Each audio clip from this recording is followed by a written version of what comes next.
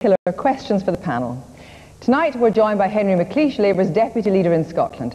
He's hoping for victory next week, but as a former footballer, he'll be all too aware of the danger of an own goal tonight. David Steel is a former Liberal leader and a veteran in the battle for devolution. Despite enduring the Commons and the Lords, he wants into another parliament. But at least he's not lording it over as in this election he's playing David Steel in the campaign. Annabel Goldie is the Deputy Leader of the Conservatives. She'll be hoping to use her skills, honed as Vice Chairman of the Salvation Army, to lead the Tories out of the wilderness. John Swinney is the Deputy Leader of the Scottish National Party. He claims to be a financial magician, conjuring up the idea of a penny for Scotland. But he hopes this trick won't make the votes disappear. We can take the first question now, and it comes from Jerry Keegan, who's a member of the Labour Party. Good evening. With just six days to go to the election, why have the SNP still not told us how they are going to pay for the 70 manifesto commitments outlined in their document. Putting up taxes by one pence will only raise so much. Can we expect taxes to go up much further? John Swinney. Well, one thing's absolutely certain about this election campaign. The SNP has been centre stage, and I'm glad to see we open tonight's programme with a centre stage again. Uh, the SNP has put forward a very detailed manifesto for the Scottish Parliament elections that relates to the powers of the Scottish Parliament, Every single manifesto commitment that is in that manifesto has been costed by the SNP, and we've come forward with an initiative to guarantee that there is more resources put into Scottish public services, £690 million from our Penny for Scotland initiative. Now, the Labour Party has tried this trick. They've tried to say that there are manifesto commitments that we haven't costed, but we've taken every one of their 70 charges and rebutted every single but John one Swinney, you're an economist. Would you trust anyone who made a policy up, a penny for Scotland, the back of an envelope, hours well, after a budget? Well, what it's about is about recognising the choices that are in the finances of, the, of Scotland true? and the United would you, Kingdom. Would you take a policy made in the back of an envelope? Well, it's not a policy made in the back of an envelope at all. What it, what it is is a, a policy framed within the context of the budget choices made by the Chancellor. Now, the Chancellor told us that he had two and a half billion pounds in the public finances that he could distribute for some purpose. So how quickly did you make that decision? No, no, no, voters are, I want to know about the, the well, credibility of your uh, economic policies. How quickly, after Gordon Brown sat down, did you make the decision for a penny for Scotland? Well, the final initiative that the, the, final decision the SNP took about the Penny for Scotland initiative was taken democratically by our members at an annual conference in Aberdeen on no. the Saturday after the budget, where we no, had it was decided. Made before no, that. but we as a party democratically took that decision. And unlike the Labour Party, we take our orders in Scotland, we don't take them from London. Well, Henry McLeish, what is the point of having the ability to vary taxation if you are saying that heavier taxation is bad for Scotland? That the SNP is irresponsible? Well, what we're saying, Kirsty, is simply this, that we put the Scottish variable rate in the Scotland Act. Scotland voted for it on September 11th in the referendum. That's absolutely right. And it is up for the parties to decide if they want to use it. What we are saying just now is that we've got an expenditure programme over the next three years of £4 billion in the key areas of education, health and housing. The Chancellor has got the finances absolutely sound. We have interest rates which are low, we have inflation which is low, and of course we're looking towards giving people a fair deal in Scotland. There's no point in helping Scots by hurting them, because the key issue in this election is when the Nationalists talk about a penny for Scotland. Remember, it's a hard hit of £250 for the average Scottish but, but, taxpayer. But we simply don't think that is required. To be damaging, and yet Jim Stevens, who comes from this neck of the woods, exactly. who's on the national executive of the Labour Party and who's standing as a candidate, says it would not be damaging. A penny for Scotland would not be damaging. He's on your national executive. That, that's an opinion, Kirsten. I'm just basically so saying okay that we... we yes, well, it, it, is, it, is, it is a situation, it is a situation, John, um, where we're saying that with a four billion expenditure programme, with the Chancellor able to cut tax at the UK level by one pence, a starting rate of 10 pence for the lower paid. Surely that combination of sound finances, public investment and lower taxes, that's the way forward Well, let's hear, a bit, let's hear a bit from the audience now. Yes, the gentleman, the gentleman the spec, and then the gentleman on the left-hand side. First of all, yes. Yes, Hugh Kerr, member of the European Parliament and member of the Scottish Socialist Party. I think the real irony about the penny for Scotland is actually it shows how trivial it is between the four main parties. The truth is that the rich in Scotland and the rich in Britain did extraordinarily well out of 18 years of Tory government. and that we have the lowest taxes on the rich and the lowest corporation taxes of any country you- in thank you Europe. very much. And the real question for the Labour Party is why it's being so timid and adopting Tory public expenditure plans as it has done for the past two years. Thank you very much. The gentleman...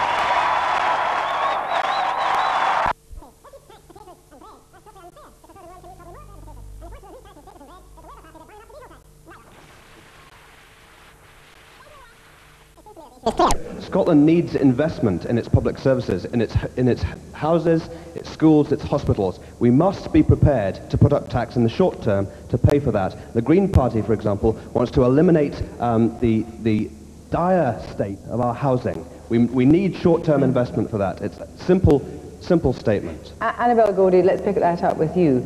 Um, the Conservatives, particularly Peter Lilley, William Hague, Francis Maude, are now talking about investment in public services, showing that the Conservative Party has a commitment to public services. Isn't the gentleman saying right that if you have to have taxes increased to pay for that, you should be prepared to increase taxes? I think it depends on assessment of the circumstances. I think what William Hague has been doing is absolutely right. The Conservative Party has always been committed to these services, but he felt the perception was different, and I applaud him for clarifying the position. But what he hmm. also very rightly recognises is that if you, again, it goes back to this basic question of tax. Now, you can very easily kill the goose that lays the golden egg. And you do not have money for any expenditure on the public sector or anywhere else unless you have a buoyant, prosperous economy. You don't have that unless you have a general economic situation where business wants to be and new business wants to come. So it has to be it has to be a question of generating a prosperous economy, and that will provide the wealth for distribution to these areas which you are rightly so concerned about. Well, taxes has played so far in this election is certainly going to play in the next six days. We must move on now and take a question from Robert Graham from the Pro-Life Alliance. Robert Graham. Um, Kirsty, in view of the fact that 12,000 unborn Scottish babies are killed by abortion every year as a result of the 1967 Abortion Act, would the panel agree that control of abortion legislation should be devolved to the new Parliament and that it would be of great credit to Scotland if the practice of abortion were outlawed and the right to life extended to all our citizens, including the unborn? A question in two parts, David Steel. Well, firstly, we, we had a debate on this in the in the Lords, and uh, most of my party voted for the return of the legislation to Scotland. We don't see any case for having uh, this as a retained issue at Westminster. But that's been decided. I mean, that argument was lost. But the answer to your question is I would agree that it ought to be within the power of the Scottish Parliament. On the substance of the issue, of course, people tend to forget now, because we're in 1999, what life was like in 1967 and before, when we had a, a, an appalling record of criminal abortion, self-induced abortion, 30 to 50 women a year in the UK dying each year as a result of botched abortions, the public wards of every hospital clogged with women who are in there for uh, repair for incomplete, septic and incomplete abortion it was called. All that's been removed. Now you may disagree with abortion, but if you're going to have abortion, all I'm saying is it's better to have it safe and legal than dangerous and illegal. Um,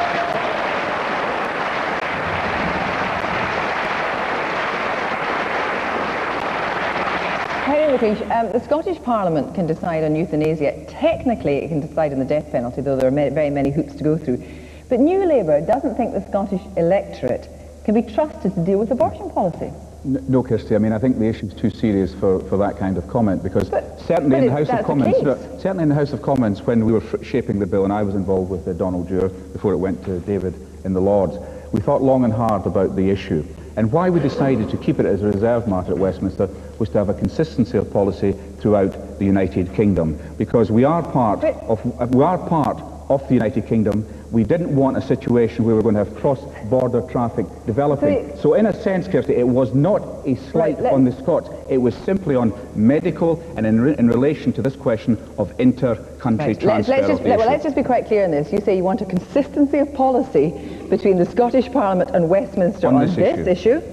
You don't mind if there's an inconsistency of policy on this and Westminster on euthanasia. That just absolutely doesn't seem Well, coherent. What I'm, what I'm saying, Kirsty, is because it's not an issue, it's not an issue, This was not looked upon as a political issue. It's far too serious, and I agree with David entirely about the reason why we've But got David wanted it abortion back laws for- David no, still I, wanted I it agree back with the for first, Scotland. the second part of his wasn't answer. party issue, there wasn't a is. It party wasn't issue, a party issue. And that was crucially important. It was taken on what you might regard as narrow grounds, but to keep, to avoid cross-border traffic on something which could clearly develop. Now, it wasn't a political issue, it wasn't ideological, it wasn't a slight against Scotland. There was a long debate But within the government on that issue, and I think we've come up with is the a right political issue, surely, because it already there isn't parity across the United Kingdom as it is. So it was a political issue not to give it to the Scottish Parliament. No, you're talking about two issues. One is if you're talking about facilities and um, that we have throughout the United Kingdom, they could vary in quality. That's a difference, Kirsty, from the point of view of saying that Scotland should have a different Ireland. set of laws from England, Wales, and, Nor- and England Wales on this issue. So I think the right decision was taken. But of course, what you have um, is a situation where if it's not ideological or political, it should be done on the basis of sound technical reasons. I think that was the right decision. Annabel Goldie, um, the Conservatives also wanted to be a power uh, for the Scottish Parliament. Are you sure that a Scottish Parliament would have made abortion more restrictive than it is now? Are you sure they would have taken automatically a different line? Henry McLeish seems to be concerned there would be a different line.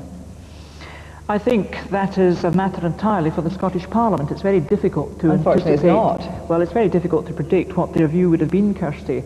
And I think that in an area which is so sensitive as this one, and in, in respect of which people have so many deep and, and very cogent feelings, uh, I do feel it is important to understand why the law is there in the first place. I entirely endorse what David has said. I speak as a solicitor in Glasgow, and I have to tell you that before David's bill became law in the 1960s, the situation which existed was absolutely appalling, absolutely unacceptable, and I hope it is never repeated in this country. But don't you, but, but don't you also see an inconsistency with some of uh, the devolved powers and some of the reserved powers? That actually very, very strong moral issues, like euthanasia, can be discussed by MSPs. But abortion can't. I mean, there, there seems to be I no think- pattern. I think there is, in an, in an issue like this, uh, a certain need for consistency. I must be quite honest about that. And I do feel that Henry has a valid point when he says in relation to the United Kingdom, and you must remember that we have members of the medical profession who travel between Scotland and England. They have to observe the laws as it exists. They have to apply the laws as it exists. I think this is a very difficult area where I feel at the moment consistency is extremely important. But before I come to John Swin, I want to take some views from the audience. The Young woman at the back, and then the young woman on the other side. Thank you.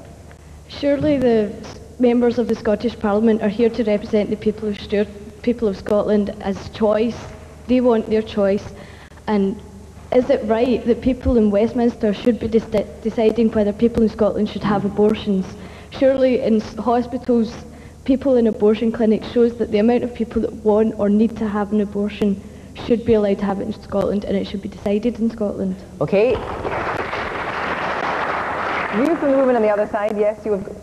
I think we should trust the Scottish electorate to be able to return a parliament that will enshrine a woman's right to choose, Thank and you that very- should be within the remit of the parliament. Thank you very much. Okay, come back to John Swinney. If abortion law was tightened in Scotland, wouldn't you be concerned about cross-border abortion trade, much as Henry McLeish is? Well, I think the, the issue is, is to go back to the point about whether the, the Scottish Parliament should have province in this issue is about the maturity of debate within the Scottish Parliament and the Scottish electorate. And, you know, I would choose for the Parliament in Scotland to be able to resolve many issues that are all of the reserved issues that are currently uh, retained by Westminster through an independent Scottish Parliament to give people in Scotland the choice over a whole range of policy areas. And I think we, um, by the, the way in which we elect the Parliament, by the way in which we conduct a mature debate in Scotland, we should be able to address these issues and to consider all of the factors which you rightly raise in your question, Kirsty, which are legitimate issues about uh, the potential for cross-border trafficking if there was a different legislative issue. That would be an issue for the Scottish Parliament to consider. It would be one of the factors that would have to be borne in mind before the Parliament took its final decision on that, that, that particular issue. So it's about trusting the Parliament and trusting the electorate to elect a Parliament that will act in its interests uh, You- and the interests of the people of Scotland. Well, isn't that the case? You do, just don't trust the Scottish people. You have in your mind what might happen in the Scottish Parliament,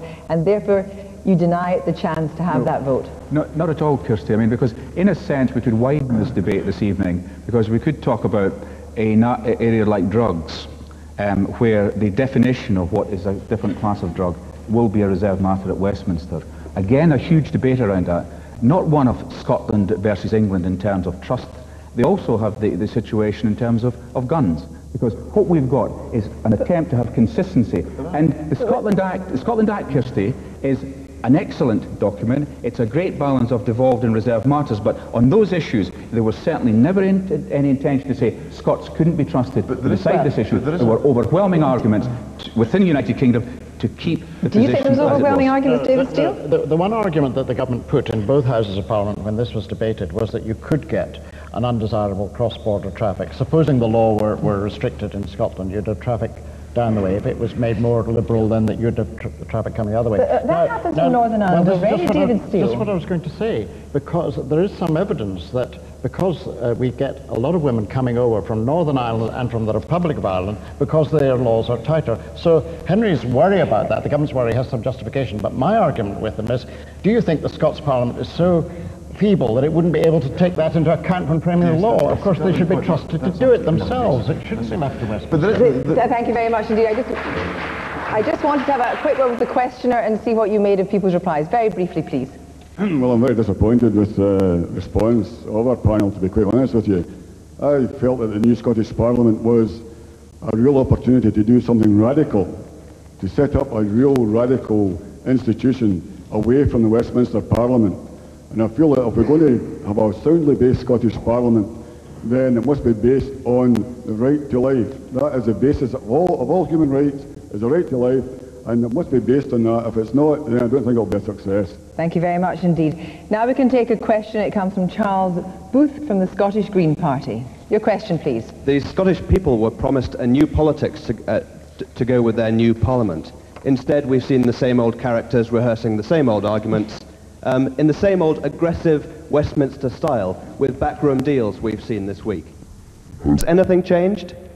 Henry McLeish. I think it has changed. I'm probably one of the old characters you're talking about in your, in your question. But in the run-up to the, um, after the Scotland Act, we got together a consultative steering group, which had all party representation. And that really set... My Minus the Greens. My apologies for that. Um, but I think you would have concluded with us that the, the, the, document was a very good one. It was about a new politics. It was about a blueprint for a parliament that would work differently from Westminster. It was about family-friendly hours. It was a horseshoe-shaped parliament. It was about electronic voting. So in that practical sense, we've set out a way that parliament in Edinburgh will be different. But secondly, I don't think we should judge what will happen after May the 7th with the kind of hurly-burly, the cut and thrust we see on the hustings uh, here in Scotland. There are a lot well, of passionate views. To that, there's then, a lot Henry of passionate views, Kirsty, about issues, but I believe that the new Parliament does provide a once-in-a-lifetime opportunity to make things different. And I have no reason to doubt that tonight every one of the panellists will say it will be different because Scotland's hopes are riding on it. Right, well, as a testament to that, this idea that there's going to be a new way, um, in the latest biography of uh, Peter Mandelson, the story of the 1996 meeting at the home of the current Lord Chancellor, and part of the agreements that were reached at that meeting, and Paddy Ashdown was there and Donald Dewar was there, that uh, they would work towards a Lib-Lab coalition in a Scottish Parliament in the event of no Labour majority. Is that true or not? It's completely, completely untrue. And I think David, David, will, David will come in at the back of me and say that, uh, and I think that, that James Wallace said that he could rubbish it with all the skill that he could muster. I'm sure David will as well. it's simply not the case. So this, I don't think we should be, I don't think we should be distracted, Kirsty, by uh, people talking to each other. There are no pacts. no, no, we must there are that. no deals.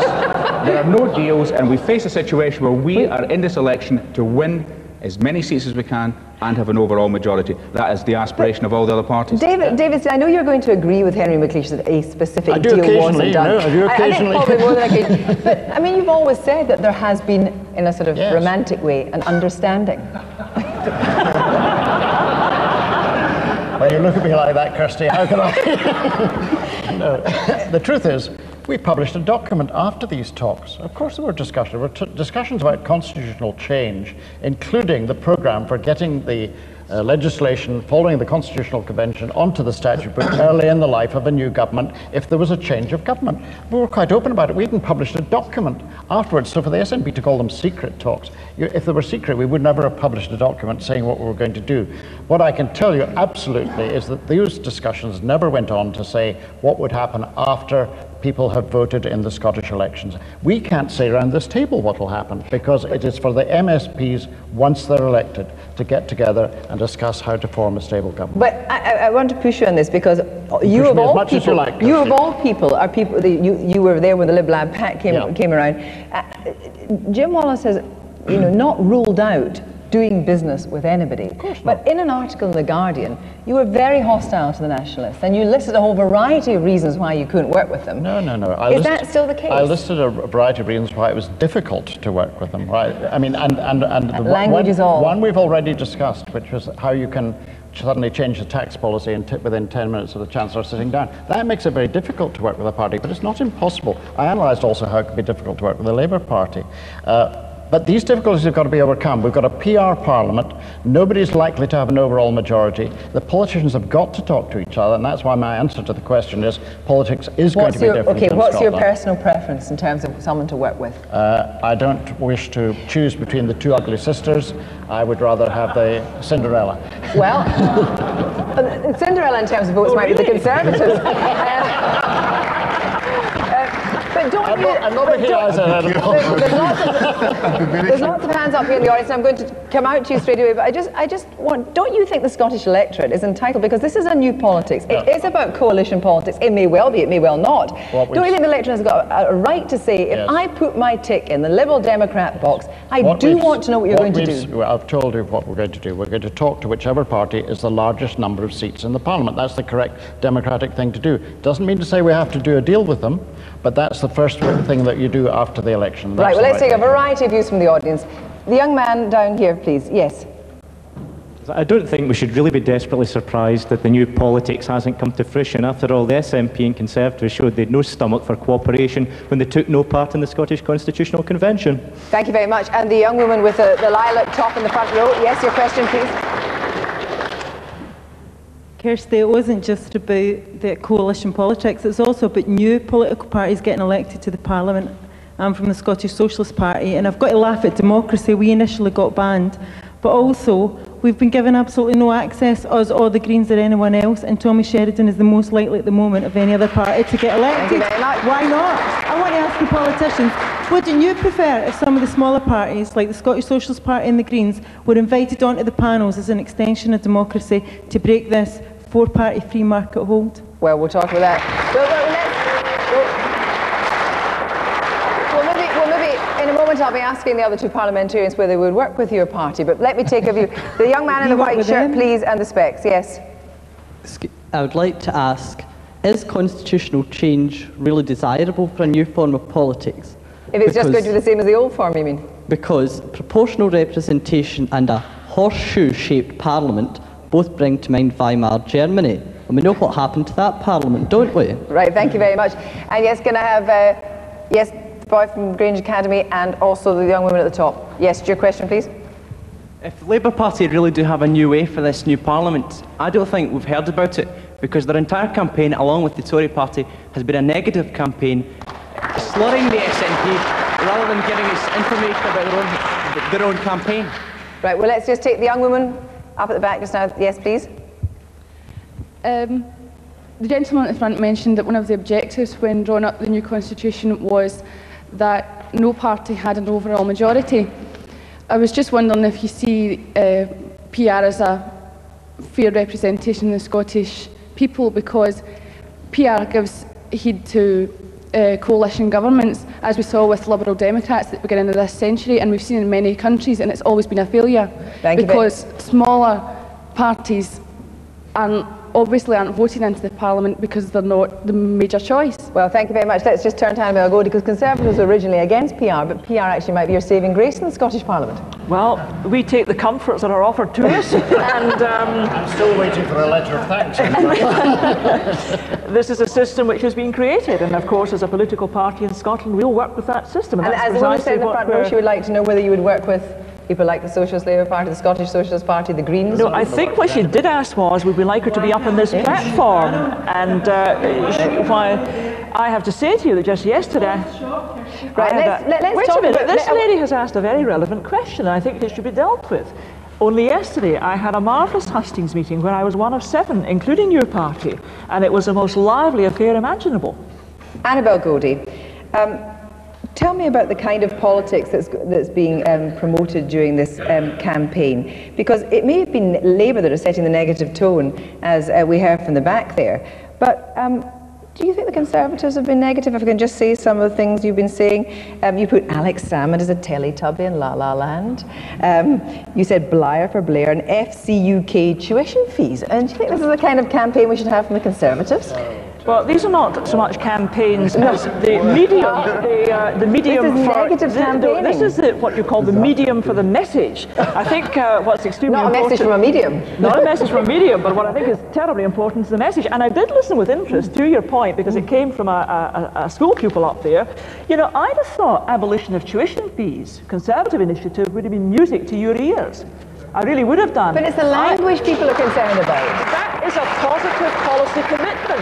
I would have thought that our proposals for education in general would have been music to your ears. I'd have thought that our whole approach to trying to improve the health service would have been music to your ears. And if you've got younger brothers and sisters, I'd have thought the guaranteed place for four-year-olds of nursery Right. education would have been music to your ears.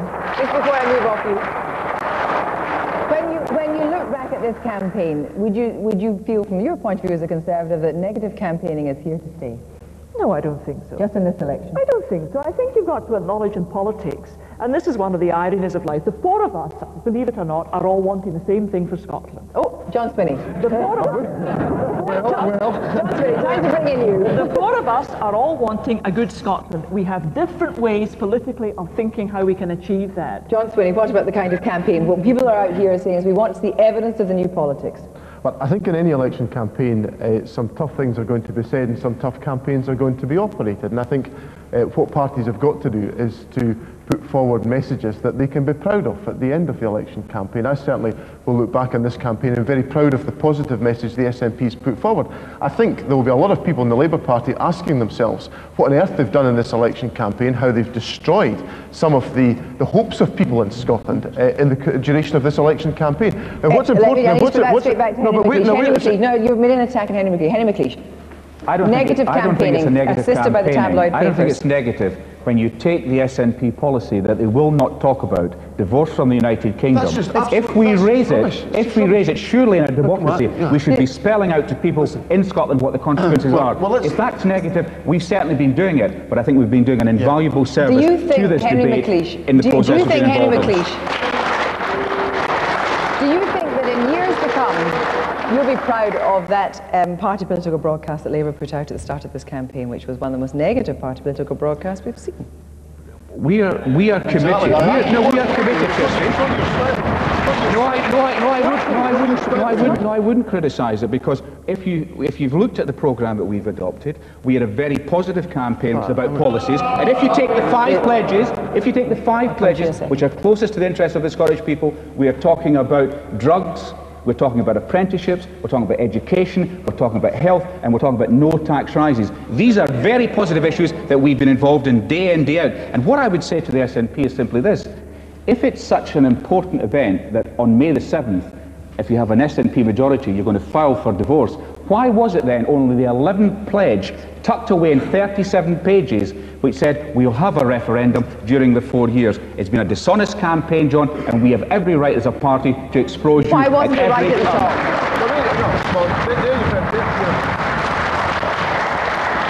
You know, you've heard the pejorative language of Henry McLeish, which has underpinned the whole election campaign the Labour Party has fought.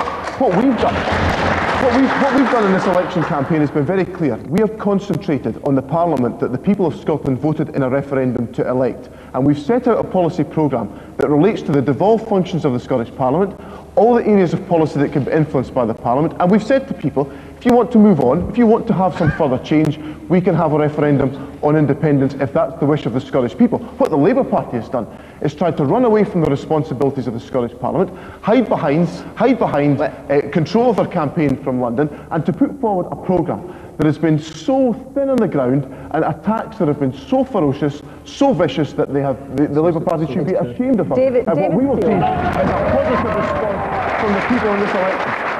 Steel. At the, at, the, at the start of this election, Jim Wallace said it was very important that we didn't allow the voices of the loudest to to drown out those who talk most common sense. And I think the electorate is going to resist allowing that to happen. And I think the second vote is all important. Everybody should remember that. And I hope that Mr. Sheridan, and indeed someone from the Green Party, actually gets elected to this Parliament so that it represents the whole breadth of Scottish public opinion. I, re- I really believe that's important. When it, when it comes, when it comes to uh, the 7th I'm of not May, saying you're going to form a coalition with them, but Well, well, you know, you're not going to say that, but tell me, people want to know what, what the ruling it out, policies, what policies are the most precious to you. Are all policies up for negotiation when it comes to um, a, a possible coalition? Yes, but the most, Uh, the, we, yes? we've already said, we've already said that health and education are the two priorities. And if I may pick up So something tuition Annabel fees are said, not up for tuition grabs? fees, tuition fees is the most important example I can give you of something that will definitely happen in the new parliament. If Labour fails to get an overall majority, there will not be a parliamentary majority for maintaining tuition fees. They will go, whether it's a minority government or a coalition. If I could just, uh, I could just ask on your shopping list, if I can ask you on your shopping list. I have a shopping list. Well, I have a manifesto, and the more the, the more of the manifesto will go in, the more Liberal Democrats are elected. That's all we can say at the moment. But can you say, if, as a veteran of a, a Lib Lab pact before, will you be looking for a minister in every department? We haven't even begun to think about that. That's not the issue. The issue is not who sits in what seats. The issue is what policies are going to be pursued by the Scottish Right. Parliament. The more Liberal Democrats we have, the more of our manifesto will be in the government programme. That's Henry all we can McLeish, say. if you do not reach the magic number for a majority of 65, say you get around 60, do you think you will be minded to go it alone and see what happens rather than reach out a hand to a particular party?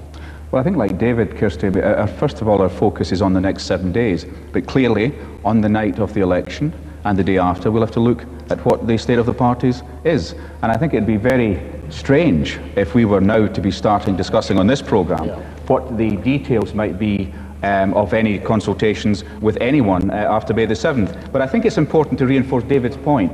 This is a unique election for us, uh, the first one in 300 years for a Scottish general election. The public will decide. And when we're talking about PR, for example, which was raised, this is fascinating because, in a sense, we built that into the Scotland Act. We know that it can have some predictions which are not, you know, forecastable. And so, therefore, on May the 7th, Scotland will have a chance to reflect on the votes they've made. And I think all the parties should wait until that particular point to decide what they would want to do next. Thank you very much indeed. Uh, with that, we will move on to a question from Jim Fitzsimmons, who's a redundant miner. Your question, please. Since the closure of the mines in our area, which is the Cumnock area, no party seems to have eased their unemployment status. Now the highest in Britain. Are any of the You don't think any party has the candidates policies? are capable of doing something about it or helping us? Are the Conservatives capable of helping unemployment? It's a particularly bad area, but unemployment is high. They here. put it out. Well, I think it goes back to the point I made earlier that the whole key to trying to solve unemployment and try and minimise the consequences that are so grievous following unemployment are to create a good economy, try and get new industry in, try and keep new industry here. And I think the best we can offer is that you would create a stable, healthy Scottish economy. Now, as going back to taxes, we don't think you'll do that by varying the tax rate, by making Scotland more highly taxed than the rest of the United Kingdom. But presumably the question is, you would have rather the mines hand closed. You think there was a viable reason for keeping the mines open? Oh, aye, Margaret decided they were to be closed, and that was it, dear. Margaret just- decided they were to be closed and that was it. Annabel Goldie, was, was Margaret Thatcher wrong to make the decision to close the mines?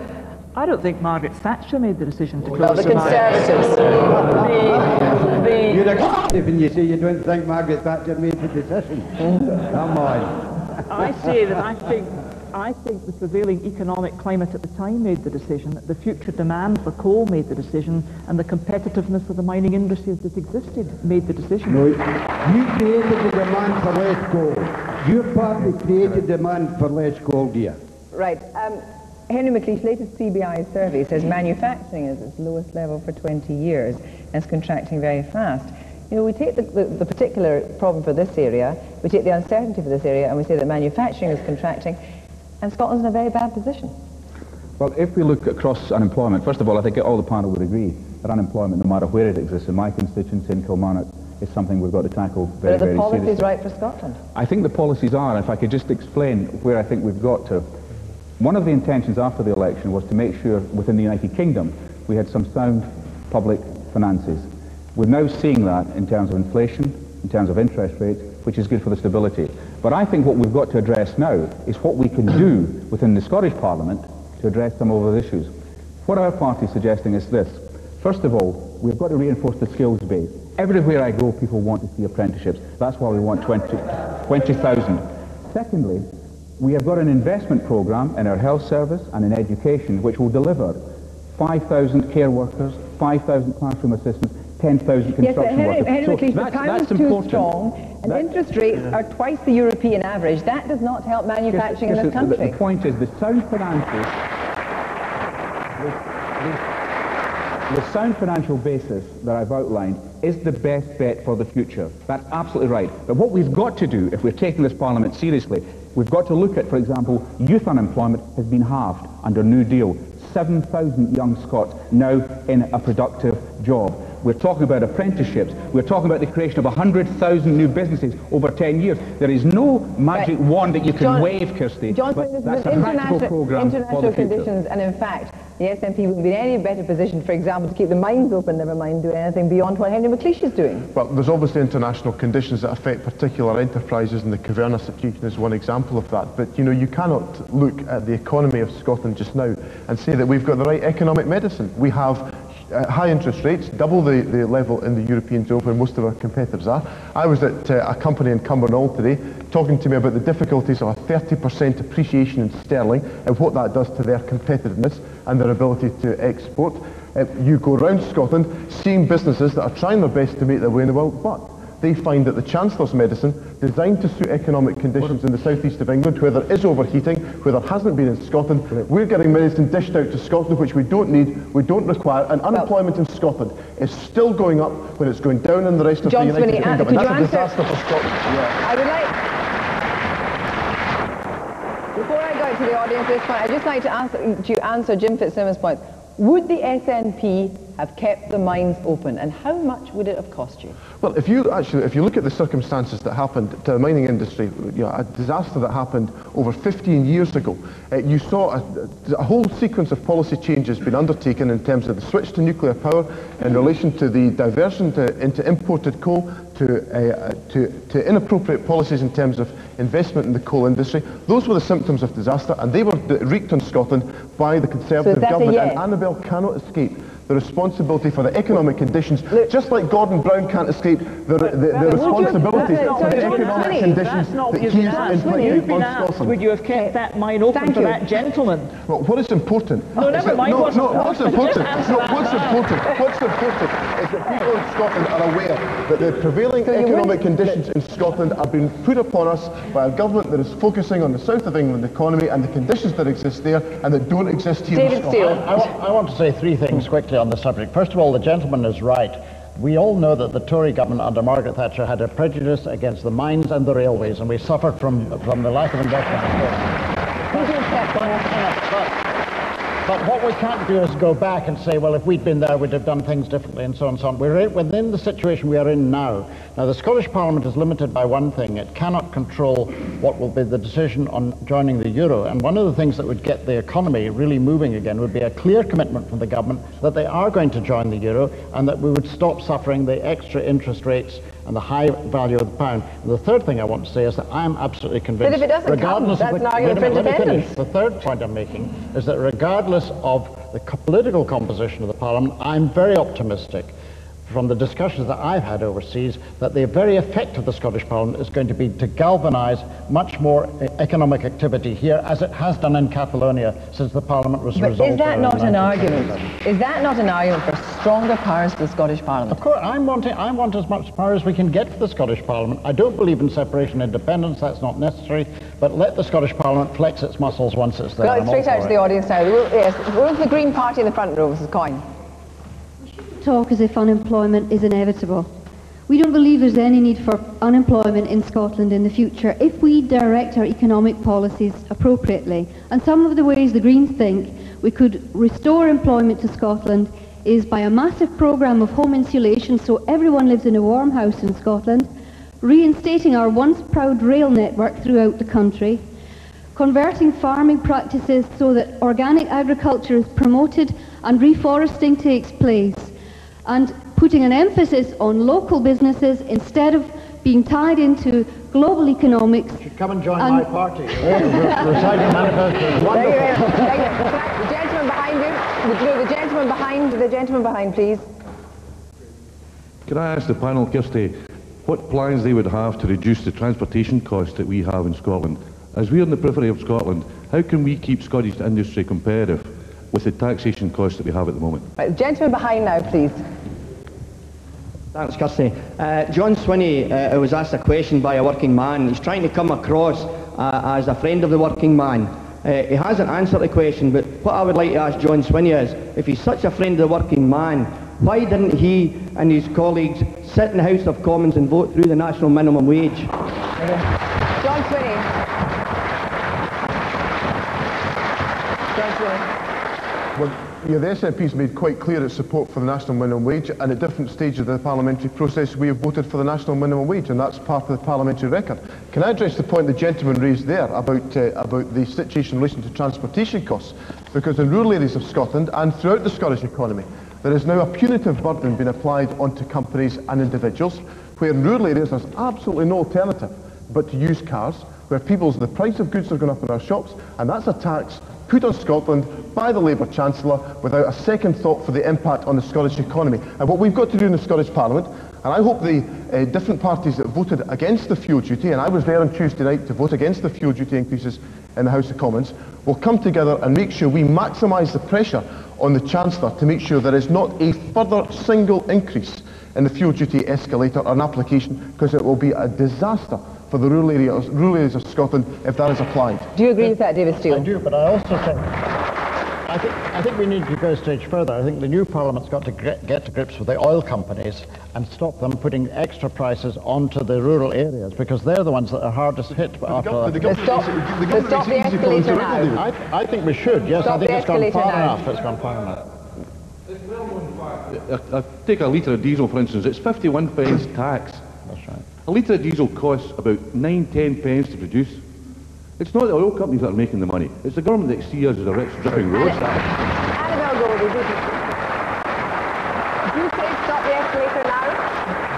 Yes, I mean, an escalator means there is a top point. We think the top point has been gone over, and we think the, po- the, the point has been On reached where your industry, your industry is in free fall with disastrous consequences. Orbit. I mean, the Tories have said in their manifesto they are more than sympathetic to the freight industry. We've promised a whole raft of road improvements. We do feel that what's been happening in terms of imposition of petrol tax to a country like Scotland we can't help our geography. We can't help the fact that we have remote areas served only by roads. We think we're being penalised by this we're also- government. and we're also for- an rich country as well. Uh, Henry McLeish, they may, this may turn out to be one of the most unpopular policies that your party has to defend during this election.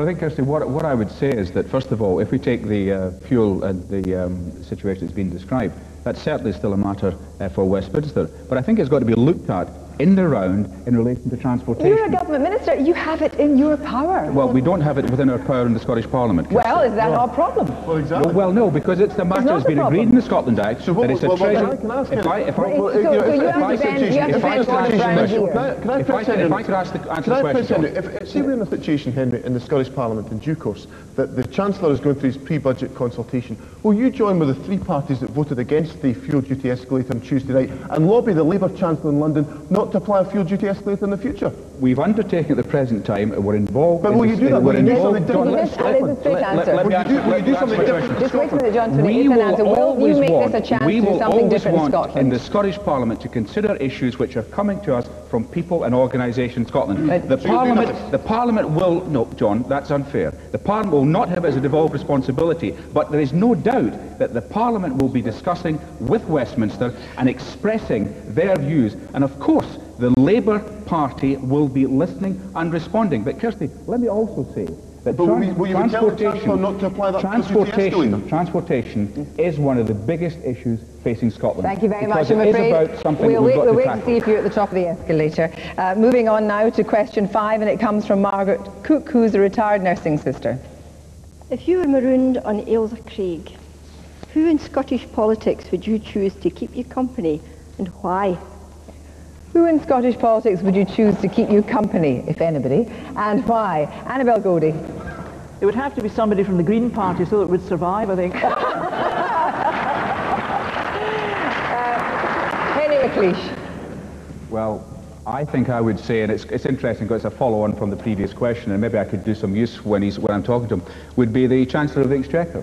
And the reason for that is not so much to discuss taxation policy or the fuel ex- uh, escalator, would be to look at Scottish football. Gordon Brown, the Chancellor, is an expert on that, and quite frankly, that would be a good combination on a desert island, at least for a small bit of time.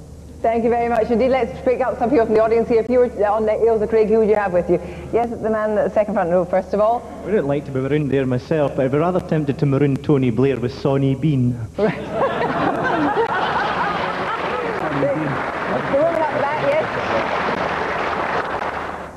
I would take any MSP who would be willing to travel down the M77 to get here Ah, and try and survive it. And the young woman on the left? It would definitely have to be someone from the Green Party so that Ailsa Craig wasn't polluted as the rest of Scotland's becoming. Thank you very much indeed. And the gentleman with the spectacles on, yes? I think we should put all the government ministers on Ailsa Craig and tell them how to speak with a Scottish accent again. Right. The gentleman up the back of the audience, yes?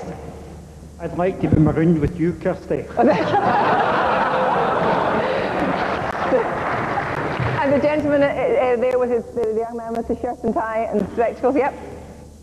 I reckon it would definitely have to be Dennis Canavan to try and get him out of New Labour's hair, because they obviously can't cope with them himself. And also Mr Fitzsimmons.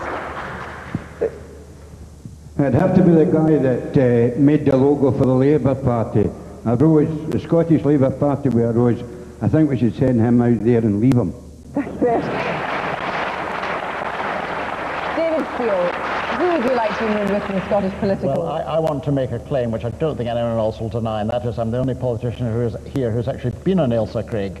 Uh, and, I, and I left it without any other company. There you are. And you'd rather just have yourself for company? No, no, no, I'm not as selfish as that. no, I would take somebody who could sing. But certainly not someone to, to make a coalition with. No, no, someone who could sing. Someone who could sing. yeah. John Swinney, if you had your opportunity to choose any Scottish politician to take to Ailsa Craig, who would it be? I think I'd have to say after what seems like an eternity on the Scottish campaign trail, I couldn't bear to be on anyone else on Ailsa, with any other politician on Ailsa Craig after the amount of time I've spent on politicians' panels like this in the last number of months. Not even Alex Salmond. Well, I think uh, I think um, I think uh, Alec would uh, uh, Alec wouldn't be able to go to Ailsa Craig because there's not a golf course for him to uh, indulge in his uh, his favourite pastime of golfing. So, uh, and it wouldn't interest me much to be on the golf course on Ailsa Craig either. Thank you very much indeed. I'm afraid that is it from Kilmarnock. Next week I'll be with the four party leaders and an audience of 500 live in Edinburgh.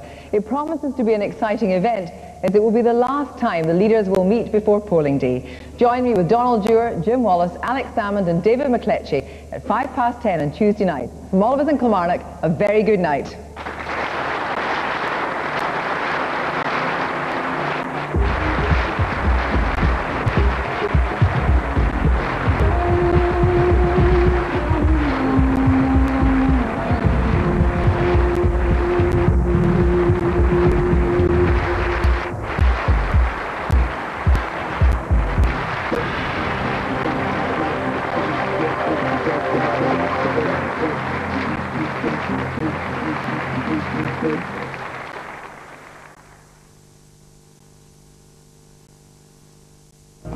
Covered eight general elections.